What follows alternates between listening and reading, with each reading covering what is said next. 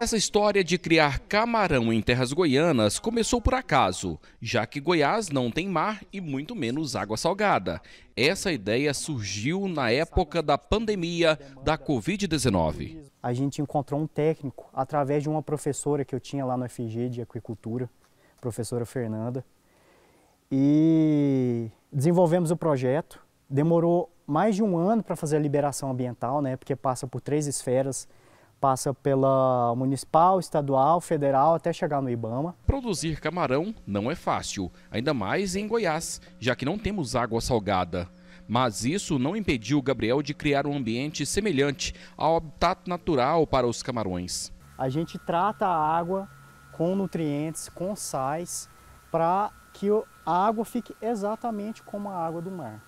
Os pós-larvas, os minúsculos camarões, saem de um laboratório no Rio Grande do Norte e são distribuídos pelo Brasil. 120 mil vieram para esse viveiro em Pirinópolis. Chegaram aqui tão pequenininhos e agora já dá para ver que estão crescendo e tem técnica para avaliar o desenvolvimento deles. A gente tem todo o cuidado para não ter nenhum choque aqui, não agredir o camarão, não atrapalhar a produtividade e a qualidade de vida dos animaizinhos também, né? Então a gente faz as análises, faz 5, 6 análises aqui. pH, temperatura, oxigênio, nitrito, nitrato, amônia, alcalinidade, para ver se está tudo ok para o camarão chegar, ter um conforto aqui e produzir, né, mostrar o melhor potencial produtivo dele. São dois tanques que servem como berçário aqui na propriedade do Gabriel. Cada um tem capacidade para 68 mil litros de água, 68 metros cúbicos. Essa água, por exemplo, ela pode ser descartada no meio ambiente ou ela é feito, é feito um reuso dessa água aqui? Não, não pode ser descartada. Se eu descartar uma água salinizada, esse aqui, eu vou estar cometendo um crime ambiental. E também perdendo dinheiro, porque tem um investimento muito alto para a gente chegar à água na qualidade que a gente quer. Os tanques do berçário estão logo ali em cima. Mas o curioso é que não passa rede para retirar os camarões para serem transferidos para o tanque de engorda. Como que é feito então essa despesca? Então, a gente tem um sistema aqui que eu chamo de descarga.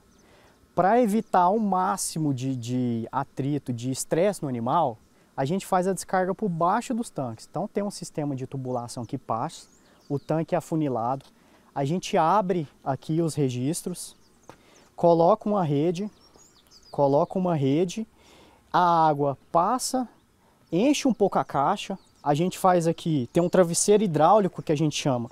O nível da água chega aqui por volta do, do joelho, para quando o camarão descer, não bater diretamente com o concreto. Então ele não machuca o camarão, a gente faz um travesseiro hidráulico.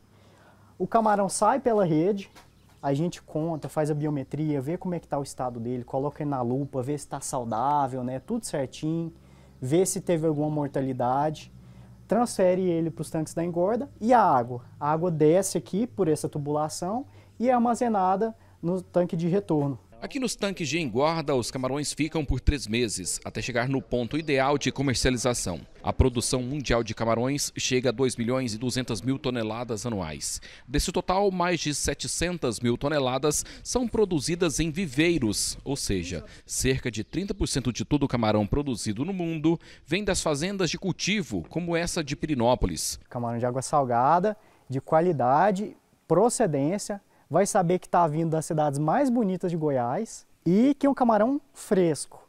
No futuro a gente quer fazer a abertura aqui para fazer visitação turística, para a pessoa conhecer de onde que está saindo o camarão que vai para a mesa dela.